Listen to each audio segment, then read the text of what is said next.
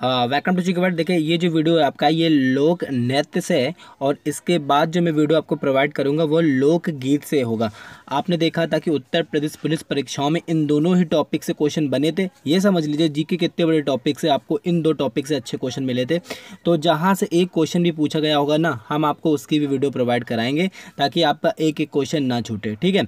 तो आज जो आपको यहाँ से देखना है, बहुत अच्छे से इस वीडियो को, क्योंकि ये आपके एग्ज़ाम में पूछा जाएगा श्योरिटी, और बहुत अच्छे से पूछा गया था। तो आपको आज लोक नृत्य जो है उत्तर प्रदेश के मोस्टली सब आपको बता दिए जाएँगे, किस अवसर पे किए जाते हैं, किस क्षेत्र में किए जाते हैं, किस जाति के द्वारा किए जाते हैं, ये सब कुछ आपको बताया जाएगा, जो आपके एग्ज़ाम के लिए काफ़ी यूज़फुल होगा। तो चलिए देख लेते हैं इस वीडियो को बिना किसी देर लगाए, ठीक है? तो देखिए क्या है जोगनी नृत्य की बात अगर की जाए तो ये कब किया जाता है? तो ये रामनवमी के अवसर पर किया जाता है। याद रखिएगा पूछ लिया जाता है क्वेश्चन कि जोगनी नृत्य किस अवसर पर किया जाता है? तो याद रखिएगा कि ये रामनवमी के अवसर पर किया जाने वाला लो, लोक नृत्य है। याद रखिएगा पुरुष जो है ये महिलाओं का रूप धारण करते हैं ठीक है? ये भी पूछ लिया जाता है। याद रखिएगा कि कौन सा नृत्य है जहाँ पर पुरुष महिलाओं का रूप धारण करते हैं? तो याद रखिएगा ये जोगनी नृत्य है आपका ठीक है? तो इस चीज़ को अच्छे से याद रखिए क्वेश्चन इसी तरह से टेढ़े मेढ़े बने थे डायरेक्ट क्वेश्चन तो इस बार बने ही नहीं उत्तर प्रदेश परीक्षाओं में, ठीक है? तो अगर दोबारा भी ऐसे क्वेश्चन बनते हैं तो आपको पूरी तरह से प्रिपेयर होना पड़ेगा, ठीक है? तो चलिए, फिर नेक्स्ट क्या, धीवर नृत्य तो यार क्या शुभ अवसरों पर किया जाने वाला नृत्य है ये, ठीक है? और याद रखिएगा प्रमुख रूप से कहार जाति के द्वारा किया जाता है। मोस्ट आईएमपी क्वेश्चन याद रखिएगा, पूछ लिया जाता है कि कहार जाति के द्वारा कौन सा नृत्य किया जाता है। तो रखिएगा धीमर नृत्य जो है, ये कहार जाति के द्वारा किया जाता है और कब किया जाता है? शुभ अवसर जो होते हैं, उन पर किया जाता है, ठीक है? चलिए फिर बात आती है शहरा नृत्य तो ये भी बहुत इंपॉर्टेंट नृत्य है, इससे क्वेश्चन तो बना ही था। तो याद रखिएगा, मुख्य रूप से किस, कहाँ का है, ये बुंदेलखंड क्षेत्र का नृत्य है। कहाँ का है? मुख्य रूप से बुंदेलखंड क्षेत्र का ये नृत्य है और ये कब किया जाता है? किसानों द्वारा फ़सल की कटाई पर। ठीक है मोस्ट आईएमपी क्वेश्चन याद रखेगा कि ऐसे क्वेश्चन बनता है कि किसानों द्वारा फ़सल की कटाई पर कौन सा नृत्य किया जाता है? तो याद रखेगा, शहरा नृत्य और ये भी पूछ लिया जाता है कि शहरा नृत्य किस क्षेत्र का है? तो याद रखेगा बुंदेलखंड क्षेत्र का है ये नृत्य। ठीक है तो अच्छे से याद रखिए नेक्स्ट क्वेश्चन क्या है? धूरिया नृत्य। तो याद रखेगा कि ये कहार जाति के द्वारा किया जाता है। ठीक है? ये भी बहुत अच्छा क्वेश्चन है, पूछा गया था। याद रखेगा धूरिया नृत्य किसके द्वारा किया जाता है? कहार जाति के द्वारा किया जाता है ये नृत्य। और स्त्रियों का वेश धारण करते हैं इसमें भी पुरुष। ठीक है? ये चीज़ याद रखेगा स्त्रियों का वेश धारण करके जो ये नृत्य पुरुष पेश करते हैं। और ये भी विशेष रूप से कहाँ पर किया जाता है? बुंदेलखंड क्षेत्र का ये नृत्य है। ठीक है? तो इसको आप भी देख लीजिए, अच्छे से वो याद रखिएगा। नेक्स्ट आपका है चरकुला नृत्य तो ये भी बहुत पूछा जाता है तो याद रखिएगा, बैलगाड़ी के पहिए पर कहीं मतलब घड़े रखकर किया जाने वाला ये नृत्य है ठीक है? याद रखिएगा, ये कई होगा, ठीक है? ये आपका होगा कई नेत। तो यार के कई घड़े रखकर जो बैलगाड़ी का पहिया होता है, उस पर कई घड़े रखते हैं ये लोग और फिर नृत्य करते हैं। और ये आर का चरकुला जो नृत्य ये मोस्ट आईएमपी भी है क्योंकि यहाँ हमेशा पूछा जाता है ये क्वेश्चन तो ये विशेष रूप से जो है ब्रजवासियों द्वारा किया जाता है, यानी ब्रज का लोक नृत्य। ऐसे ही डायरेक्ट क्वेश्चन बनेगा कि ब्रजवासियों या ब्रज के, ब्रज भूमि पर किया जाने वाला कौन सा नृत्य है?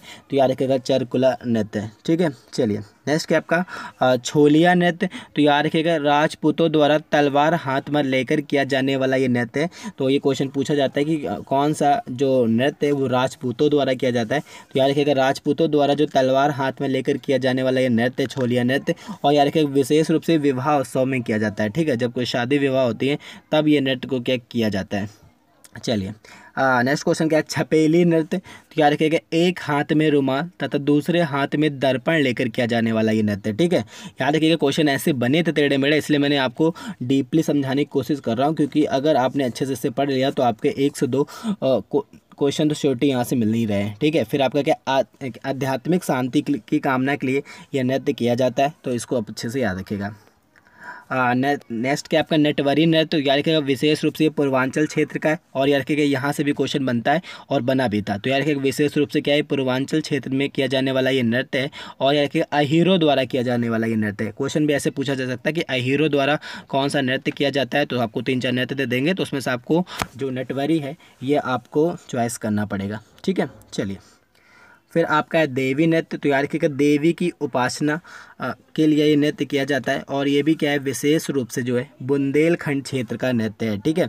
ये मैं बार बार इसलिए बता दे रहा हूँ, याद रखिएगा कि पूछ लिया जाता है कि निम्नलिखित बुंदेल क्षेत्र का कौन सा नृत्य है, ठीक है? इस तरह से आपको याद रखना पड़ेगा, ठीक है? चलिए नेक्स्ट क्या आपका पाई डंडा नृत्य। तो याद क्या गुजरात के डंडिया जो नृत्य के सामानी ये नृत्य है, ठीक है? और ये बुंदेलखंड के अहीरों द्वारा ये भी नृत्य किया जाता है, ठीक है? तो इसको याद रखिएगा मोस्टली ये आपको याद रखना है कि क्या है, गुजरात के डांडिया नृत्य की तरह ये समान नृत्य है ये भी, ठीक है? चलिए।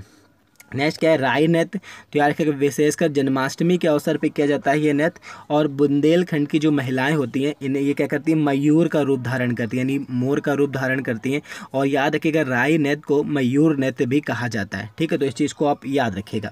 चलिए नेक्स्ट क्वेश्चन क्या है? धोबिया नृत्य तो ये क्या है? विशेषकर पूर्वांचल क्षेत्र का ये नृत्य है और ये मंगल अवसरों पर किया जाता है, ठीक है? तो ये उत्तर प्रदेश के बहुत ही अच्छे लोक नृत्य हैं जो आपके एग्ज़ाम में पूछे गए हैं और अच्छे से पूछे भी जाएँगे तो इनको थोड़ा सा याद रखिएगा, ठीक है?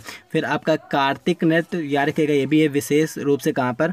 बुंदेलखंड क्षेत्र का ये नृत्य है और कार्तिक माह में किया जाने वाला नृत्य है, यानी जो कार्तिक माह होता है, उस माँ में किए जाने वाले नृत्य है और इसमें नृतक करते क्या श्री कृष्ण और गोपी का रूप धारण करके ये जो है, अपनी नृत्य जो है, पेश करते हैं। ठीक है? तो ये चीज़ भी याद रखिएगा। ऐसे क्वेश्चन बनता है कि नृतक किस नृत्य में श्री कृष्ण तथा गोपी बनकर जो नृत्य प्रस्तुत करते हैं? तो आपको ऑप्शंस दिया गया होगा तो वहाँ लिखिए कार्तिक नृत्य होगा उसका आंसर ठीक है? चलिए। नेक्स्ट क्या आपका? झूला नृत्य। तो याद रखिएगा, ये क्या है? विशेष रूप के ब्रज क्षेत्र का ही नृत्य है और ये क्या श्रवण मास के आगमन पर किया जाता है। जब श्रवण मास जब लग जाता है, तब ये किया जाता है झूला नृत्य, ठीक है? तो ये कुछ बहुत ही इंपॉर्टेंट उत्तर प्रदेश संबंधी जो लोक नृत्य थे, और ये समझ लीजिए, अगर उत्तर प्रदेश का कोई भी परीक्षा है मोस्टली आपका यूपी पुलिस में तो बहुत अच्छे से पूछा गया तो आप लोग अच्छे से तैयार रखिए, ठीक है? आई होप आपको ये वीडियो पसंद आएगा। अगर आए तो please like and share thank you